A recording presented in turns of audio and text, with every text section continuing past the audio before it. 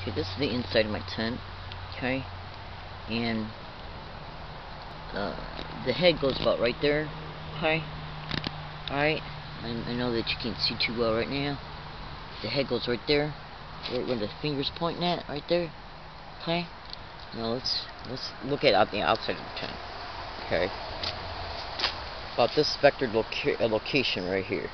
I'd say it was about between that that tree right there and that distance I'd say a little bit a little bit back just a little bit back okay and covering this whole area in the air.